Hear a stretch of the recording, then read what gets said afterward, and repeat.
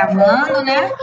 Meus amores, a partir de agora, então, nossa aula está sendo gravada, tá? Vou repetir novamente. Nossa aula hoje é com a apostila regional de geografia, tá? Então, você abre sua apostila regional na página 3 da disciplina de geografia. E na aula passada, né, quinta-feira passada, quando a tia começou a trabalhar regional com vocês, eu expliquei, né, que a apostila regional, ela aborda os mesmos conteúdos que a gente tem na nossa apostila normal, porém é, focada no estado do Espírito Santo. Então, vocês podem achar que, ah, tia, mas a gente já falou disso. Sim, pode ser que já tenhamos falado disso mesmo, mas é porque a apostila regional, ela aborda especificamente o nosso estado do Espírito Santo.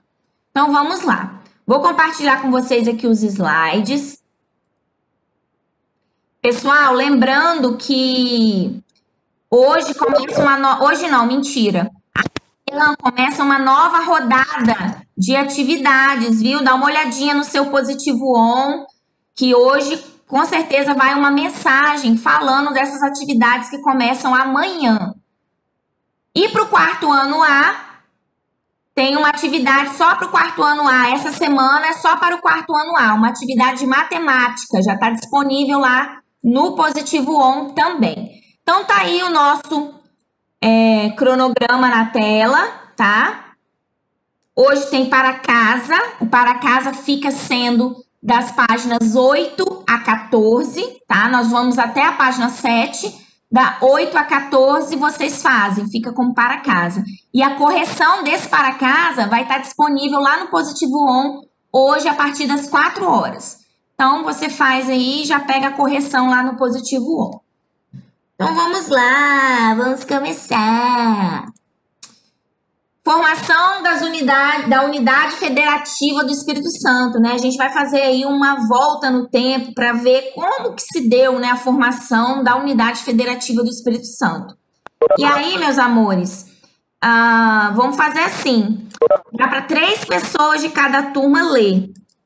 Então, a galera do quarto ano A, né, agora, vai levantar a mãozinha para poder ler. E aí eu já vou falar aqui os nomes Vou falar os nomes da galera que não pode levantar a mãozinha para ler, tá? Ó, Ana Júlia, João Pedro e Ana Luísa Lubase, do quarto ano A. É, esses alunos já fizeram a leitura essa semana, então vão dar oportunidade para outros colegas.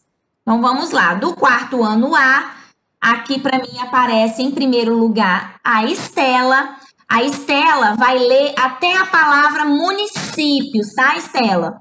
Depois a Esther, a Esther vai ler até a palavra é, estado.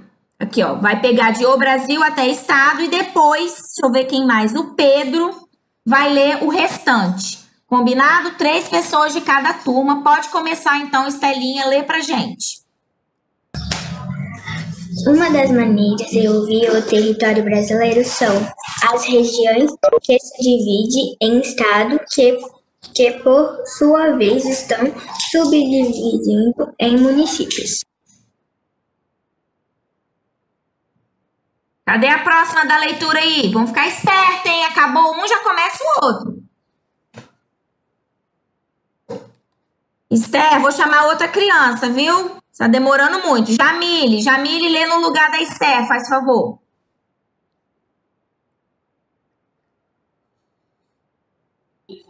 Tia, eu queria saber qual é essa apostila. Qual é a apostila? A apostila regional. Sim, a apostila regional. Acho que ela entrou agora, por isso. A apostila regional, viu? Então, ah, tá. Esther, Esther, você vai ler, meu bem? Tô vendo que você tá com a mão para cima. Daniel, quer ler, Dani, no lugar da Esther? Não, obrigada, é que minha internet tinha caído. Eu acho que abri o fone sozinho. Tá bom, amor. Não precisa se desculpar, não. Então, vamos lá, gente. Sofia, então. Sofia vai ler no lugar da Esther.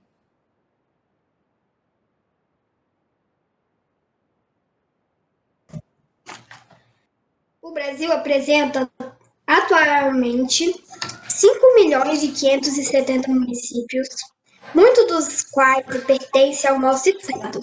Isso, muito bem. Obrigada, Sofia. Agora é o Pedro, Pedro Aguiar. Pode ler o restante, tá, Pedro? Destaque no material de apoio o mapa Espírito Santo político atual. Observe a legenda e registre o número de municípios da nossa unidade federativa. Isso. Então, para começar, peraí, só para começar, vocês vão lá, quem tá com a apostila, vai lá atrás do material de apoio. Tá vendo? Não precisa destacar, tá, gente? Não precisa. Deixa o mapa grudadinho aí na apostila. Mas nós vamos observar esse mapa que tá lá no material de apoio, lá atrás. Na legenda do mapa, lá embaixo, vocês vão observar que fala a quantidade de municípios que tem no, no estado do Espírito Santo. Quantos municípios vocês estão vendo aí, pessoal? 78. 78. Então, vocês vão preencher aí. 78 é a quantidade de municípios que existem no nosso estado. Beleza? Ô, Oi? Tia, eu tenho dois, dois mapas desse. Sim, mas são dois iguaizinhos, né? Não, nem precisava, né, de dois. Tem dois também. No meu também tem dois. Eu acho que de todo mundo tá assim, João. Então vamos lá, Pedro, pode terminar de ler aí o, o, o último parágrafo aí que você estava você tava lendo. Observe os mapas a seguir. Um deles representa a divisão regional do Brasil em 1960 e o outro a divisão regional atual do Brasil. Isso, então nós temos aí dois mapas. A tia trouxe para vocês aqui eles juntos, né? Um tá numa página, o outro tá na outra. Eu trouxe aqui, coloquei os dois na mesma tela, para vocês conseguirem visualizar a diferença, né? De como era a divisão regional lá em 1960 e como ela é feita hoje, tá? Lembrando que as regiões atualmente são Norte, Nordeste, Centro-Oeste, Sudeste e Sul. E lá atrás, em 1960, como que era essa divisão? Ó, Norte, Nordeste, Centro-Oeste, Leste, né? A região que hoje a gente conhece como Sudeste, naquela época era conhecida como Leste. Então vamos lá. Baseado nesses dois mapas aí, nesse comparativo que a gente fez agora, observando, vocês vão responder. Então vamos lá, primeira questão aí. Professora, Oi. é, aqui eu tô olhando os dois mapas. Antigamente não tinha Mato Grosso do Sul, era só Mato Grosso?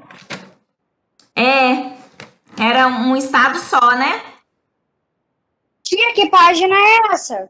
Página, essa página aqui agora é a página 4 da apostila regional de geografia.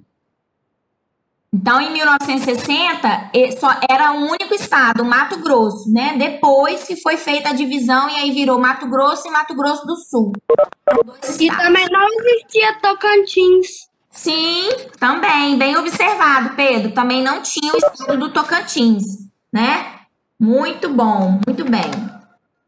Então vamos lá, meus amores. Contorne com um lápis de cor os limites do nosso estado. Observe a legenda do mapa de 1960 e indique a região que ele pertencia. Em 1960, o estado do Espírito Santo pertencia a qual região? Leste. Leste, né? Muito bom. Pertencia à região leste, que hoje é sudeste, né? Hoje é região sudeste, mas naquela época era região leste. Muito bem. Show, hein? Tia, Oi. eu tô com a mão levantada. É, é pra pintar de que cor? Qualquer cor. Ele não especifica aí a cor, não, tá? Qualquer cor. Obrigada, tia. Nada. Oi. Ô tia, é no mapa de 1960, não é? Isso, no mapa de 1960. Você vai contornar, só vai contornar só o limite do estado do Espírito Santo. Passar o lápis assim, ó, no contorno. Quer ver? Vou fazer aqui agora no meu e mostro pra vocês como que fica, ó. Vou fazer de caneta mesmo, ó. Você vai passar só a caneta ou o lápis no contorno, ó. Deixa eu te mostrar aqui, cadê? Oh, meu Deus. Aqui, ó. Tá vendo, ó? Você só vai contornar o mapinha. Não precisa fazer mais nada, só contornar, ó. Contorne, né? O enunciado diz contorne. Então, vamos lá. Tia, tia, posso responder? Tia, posso responder a dois? Posso falar, Estela? Pode. A questão 2, então, Sofia Eu posso, tia? Então, vamos lá. Em 1960, Sofia... Bahia, Minas Gerais. Posso falar, Estela? Só um minuto, Estela. Você pode esperar, por gentileza? Em 1960, Sofia, quantas unidades federativas formavam a região leste? Então, você tem que olhar lá no mapinha de 1960. Pode responder, Sofia. Sofia, você está entre nós. Tia? Tia? Oi! É... Bahia, Minas Gerais, Espírito Santo, Rio de Janeiro. Isso, e o Sergipe, lá em cima, ó, tem o Sergipe. E também, eu faço Recife. Isso, então tá aí, ó, Bahia, Minas Gerais, Espírito Santo, Rio de Janeiro e o Sergipe. Olha que diferença, né, pessoal? O Espírito Santo na mesma região que estados como Bahia e Sergipe, né, que hoje pertencem ao Nordeste. Mas lá em 1960 faziam parte da mesma região que a gente. Muito legal. Então vamos lá, questão de número 3. No mapa da divisão regional atual, a qual região pertence o estado do Espírito Santo? Sudeste. Sudeste. Sudeste, né? Isso, muito bem. Região Sudeste, que é a nossa região atual. Nossa região atual, região Sudeste. Muito bem. Lá na página 5, agora, nós vamos continuar e temos mais uma questão, a questão de número 4. Quais estados formam a região Sudeste? voltar na questão anterior, por favor? Oi, voltar no anterior? Volto. Rio de Janeiro e Espírito Santo. Isso, Joãozinho. Santo, São Paulo, Rio de Janeiro. E Espírito Santo. Muito bem. Minas Gerais, São Paulo, Rio de Janeiro e Espírito Santo, né? Esses são os estados que compõem atualmente a região Sudeste. Show! Muito bem. Agora nós temos aí na página 5 ainda o pare e repare, né? Então vamos lá. Quem tá com a apostila na mão, quarto ano B, tá? Galerinha do quarto ano B que vai participar da leitura. E aí, deixa eu colocar aqui a resposta, né, da, da questão 4. E aí, no quarto ano B, a Roberta já participou, o Murilo já participou. E quem mais? Só. Roberta e Murilo já participaram. Então, eles agora vão dar oportunidade para outros colegas participarem. Então, a galera do quarto ano B que gostaria de participar, levanta a mãozinha. Eloá, meu amor, você é quarto B? Não, né? tia, quarto C. Gente, só o pessoal do quarto B. Aqui para mim aparece o nome da da é, Isabela, né? Porque a Isabela, filha, quarto C. Então vamos lá. Tia, Oi. você pode botar a resposta 4? Bota a Resposta resposta da 4. 4. Volto, tá aí. Então vamos lá. Isabela, do quarto ano B. Lê pra gente, Isabela, por gentileza. O pare e repare. Ô tia, pra ler todo ou só até a imagem? Pode, pode ler. Não, até a palavra exemplo aqui, ó. O primeiro parágrafo, até a palavrinha exemplo. Tá bom. Muitas das palavras usadas em nosso dia a dia têm origem indígena, principalmente da língua do Guarani, o gentílico dado às pessoas naturais do nosso estado é um exemplo. Isso. Pode passar. Aí, pessoal, então, essa palavra capixaba, né, que nasce no Espírito Santo, é conhecido como capixaba. Só um minutinho, gente. Precisa que volte ainda? Voltar. Na três. Gente, vamos, não precisa, não.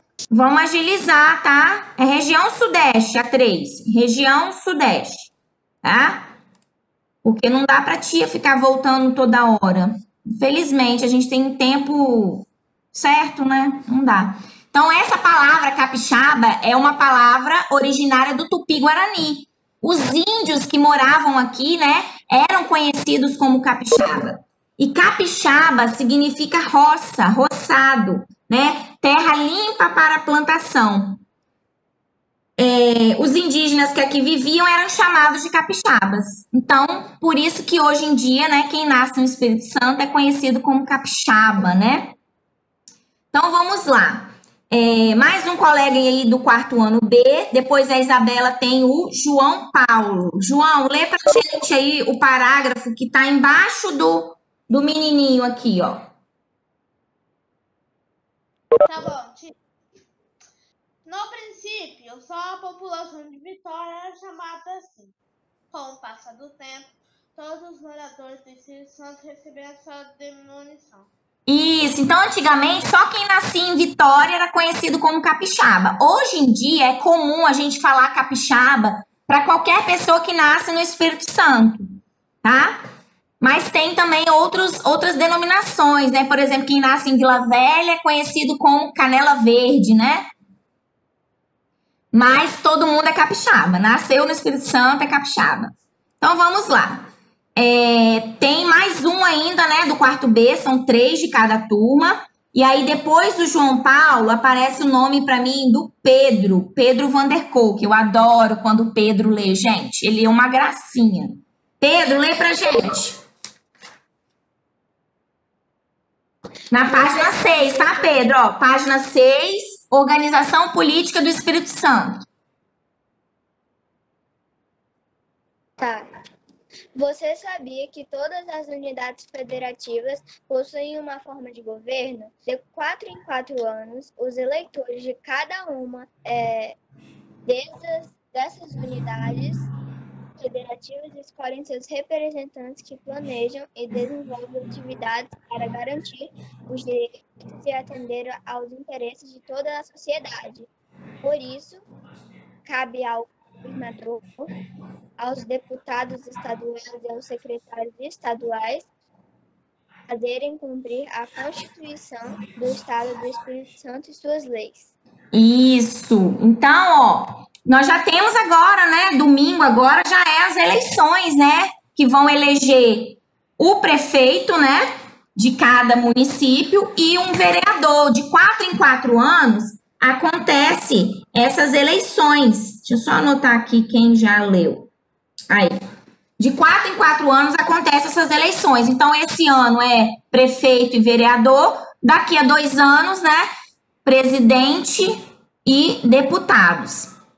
Então, é, existem leis, né? Que valem para todo estado, né? Ou seja, são leis estaduais. Talvez uma lei que exista aqui no Espírito Santo não é a mesma lei que existe lá em Minas ou lá no Rio, né? Assim como cada município também tem autonomia para criar suas próprias leis. Por exemplo, no município de Vitória, dentro de Vitória, é proibido carroça, né? Aquelas carroças puxadas por animais, é proibido.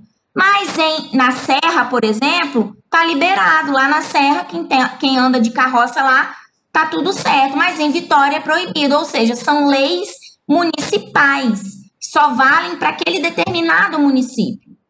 Assim como existem leis que abrangem o estado todo. E aí agora nós vamos conhecer algumas dessas leis, né? E aí eu vou chamar a galera do quarto ano C para poder participar aqui comigo. Pessoal do quarto C, com exceção da Emanuele, da Maria de Fátima e da Alanes, porque elas já participaram de leitura essa semana. Então hoje elas vão ceder a oportunidade para outros colegas. Então vamos lá, galera do quarto C.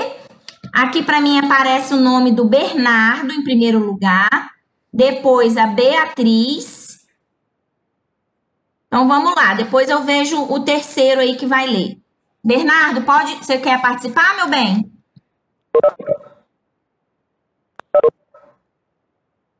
Acho que ele não quer participar não.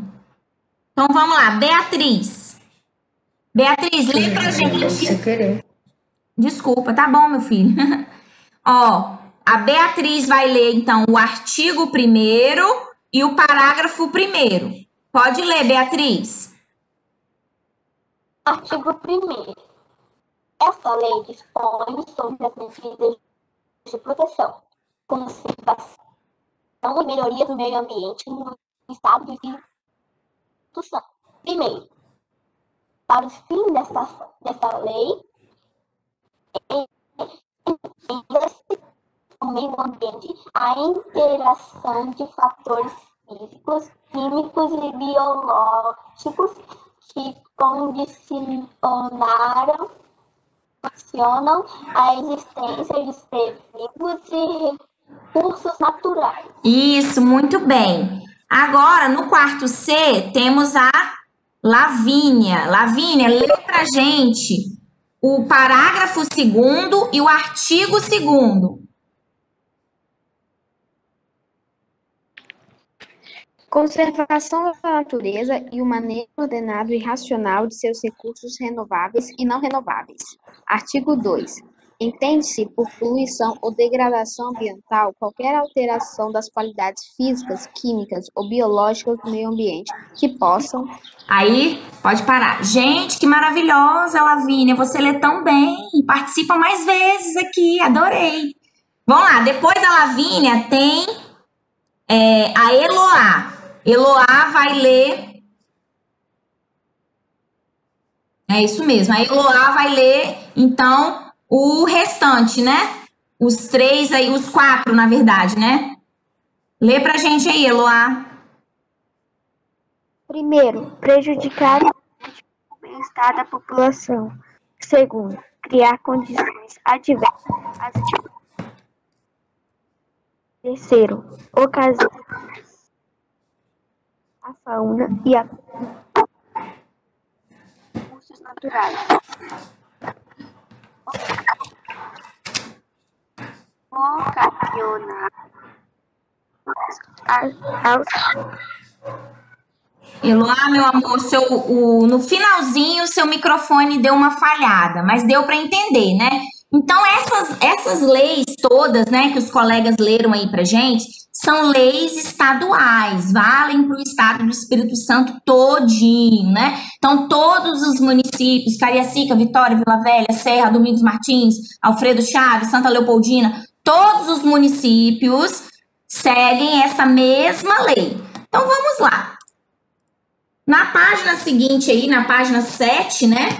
Nós temos uma atividade. Reúnam-se em grupos, já estamos reunidos. Conversem sobre a lei ambiental do nosso estado e respondam as questões. Letra A. Segundo a Constituição Estadual, o que os habitantes do Espírito Santo têm que fazer com relação ao meio ambiente? Deem uma olhada aí na lei e respondam. O que, que a gente tem que fazer com relação ao meio ambiente? O que, que a lei está falando?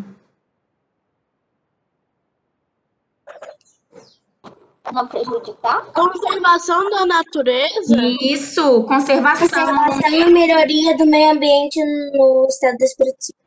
Isso, muito bem. Então, ó, proteger o meio ambiente, combater a poluição em qualquer uma das formas, né? Coloquei aí, porque são muitas coisas que falam, né? Então, eu coloquei aí é, resumido, né? Então, qual é a nossa obrigação, né, como cidadãos, moradores do Estado do Espírito Santo? Proteger o meio ambiente, combater a poluição em qualquer uma das suas formas, seja poluição é, visual, sonora, poluição de rio, de ruas, de praças, do ar, qualquer uma das suas formas. Tá aí, então, nossa resposta. Quem quiser colocar só é, proteger o meio ambiente, né? Também tá certo, tá, gente? E aí a questão de letra B.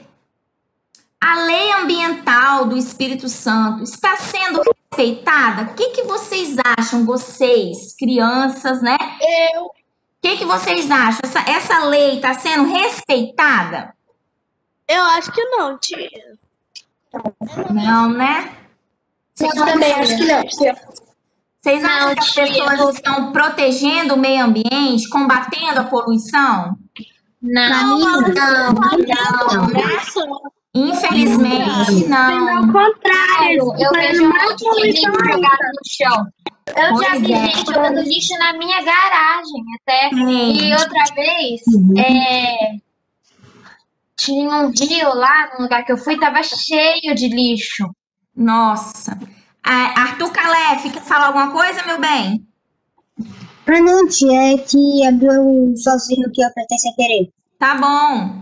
Então, assim, infelizmente, né, nós temos que dizer que infelizmente não, a maioria, a grande maioria, infelizmente, não preserva o meio ambiente, né? Vai chupar um picolé, joga o papel no chão, vai chupar uma bala, o papel vai no chão, né?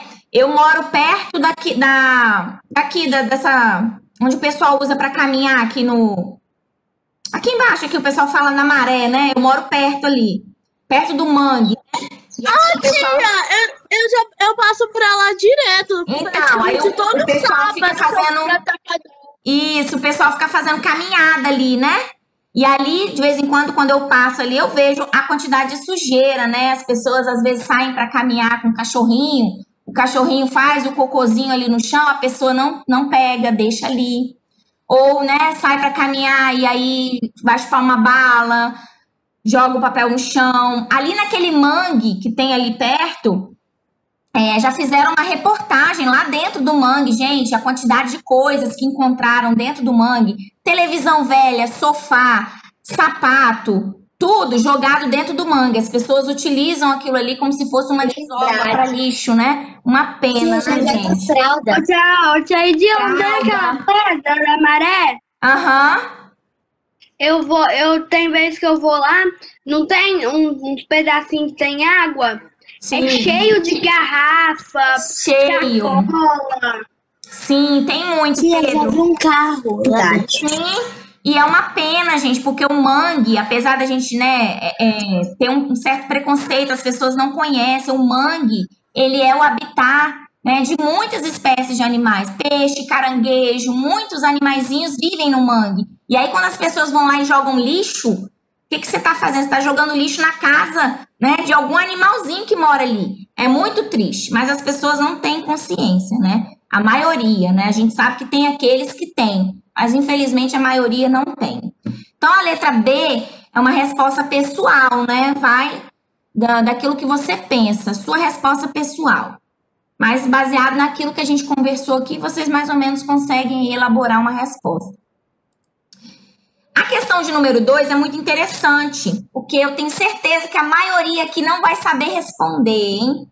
Mas, ó, não vale pedir ajuda. Não vale pedir ajuda aos universitários, hein? Não vale pedir ajuda aí, o papai, a mamãe, a titia, a vovó. Não vale pedir dica, hein? Vamos lá. Ô, tia, eu não sei porque tá em eleição. Tia, É, mas é, os atuais, né? Tem que falar dos atuais. tia. Oi? Tia, posso falar? Tia, pode Tia, procurar no Google? Tá escrito, faça Você pode procurar no Google? Vamos ver, né? Vamos primeiro vamos tentar responder aqui. Vamos lá. É, João, então João Paulo vai responder a primeira aí. Pera aí, João. Você conhece os representantes do governo do nosso estado? Faça uma pesquisa e registre os nomes. Do governador, quem sabe quem é o governador do Espírito Santo? Eu falei José Renato Casa Grande. Ui! Casa Grande. Isso aí, ó. O João colocou o nome dele completo, né? José Renato Casa Grande. Eu coloquei só Renato Casa Grande, mas tá certo, viu, João? Para os mais íntimos, Big House. Brincadeira, gente. Ô, tia, tia, Oi. Casa Grande não é tudo junto, não? O Casa Grande dele será é junto, né? É, foi falha minha aqui, ó. É junto, tá, gente? É sobrenome. É o sobrenome dele, é junto. Realmente, na hora de digitar, saiu separado. Tia, Acontece, viu? Oi. tia. Sabe por que o nome dele é Casa Grande? Por quê? Porque ele tem uma casa grande. Ah! Meu Deus, gente, só falando de novo, Casa Grande dele é junto, tá? A tia papou mosca aqui e colocou separado, mas é junto, é sobrenome. Oi? Uma. Eu tenho uma dúvida. Pode perguntar. O supermercado, não é uma piada, o supermercado Casa Grande foi feito por causa dele? Não, não tem nada a ver, não. Ah, pensei que tinha. A não ser que seja da família, né? Mas ah, não tem relação nenhuma com, o- com o Renato, não. Não sei, né? Mas acho que não. Deve ser alguma coisa de família, esse sobrenome Casa Grande, né? Vamos lá, de um deputado estadual. Gente, o deputado estadual que eu escolhi tem um nome muito engraçado. Vamos ver se alguém colocou o mesmo que o meu. Eu botei José Esmeralda. Léo de API. Tia, coloquei Torino Marques. Ó, ninguém colocou igual o meu, hein? Vamos ver. Olha o meu, gente. Alexandre Chambinho. Eu adorei esse nome. Eu olhei o nome e falei, vai ser isso que eu vou colocar. Tia, eu coloquei. Tia, eu botei esse. Eu botei esse, tia. Alexandre Chambinho. Eu achei o máximo, Chambinho. Oi. Mas eu coloquei esse aí. Você colocou Alexandre Chambinho? Eu gostei do nome, eu coloquei. tia. São É, eu muitos, também. tá, gente? Isso, eu sei. São muitos. Tia, eu posso falar uma coisa, por favor? eu ri demais esse nome. Pode perguntar, Esther. Ô, tia, é pra colocar igual a você, Alexandre Sabia ou não? Não, o, o, o nome do governador, sim, tem que ser igual, porque é um só, né? O deputado, existem vários. Você viu aí que os colegas colocaram outros nomes, e tá certo também. Eu escolhi esse que eu achei legal, mas existem vários outros, tá? Existem vários outros. Oi? Tia. Tá, obrigada, tia. Não é pra fazer a três? Não entendi. Não é para fazer. A questão 3, é, a tia colocou que não, não vamos fazer a 3. E agora eu quero saber o nome de um secretário. Quem pode me dizer o nome de um secretário? Eu sei, tia. Victor De Angelo. Victor De Antônio Carlos. Antônio Carlos, né? Eu coloquei o mesmo, olha que coincidência. Eu coloquei o mesmo que o João Paulo, Vitor De Angelo, ele é o secretário de Educação do Estado. Olha que coincidência, João. Colocamos igual. Ô, tia, eu tenho uma dúvida. Tia, uma dúvida. Certo, eu botei assim. Colocou o quê? Tia, eu tenho uma dúvida. o meu, eu botei Nésio Fernandes. É secretário de saúde, eu acho. Isso. São vários também, tá, pessoal? Secretários Tia, eu tenho uma dúvida. Ô, tia, eu tenho uma Oi. dúvida. Qual a dúvida? ia colocar o da saúde. Tia, eu tenho uma dúvida, Estela. Qual a dúvida, Estela? Ô, tia, tem que colocar a secretário do que ele é? Não, não precisa, não precisa, se você não quiser. Eu coloquei só para vocês saberem, né, secretário de que que ele é. Mas não precisa, tá, meu amigo? Só coloque Obrigada, tia. E aí, pessoal, assim como os deputados, existem vários secretários: secretário de Educação, secretário da Saúde, secretaria do Meio Ambiente, secretaria de Segurança Pública, existem vários, tá? Então, eu coloquei esse aí, mas se você achou outros nomes, ok, tá bom? Tia, bota só o primeiro. O... Tia, já pode sair? Porque o nome dele é muito grande. Tá, sem problema, não tem problema não. Meus amores, vou encerrar a gravação.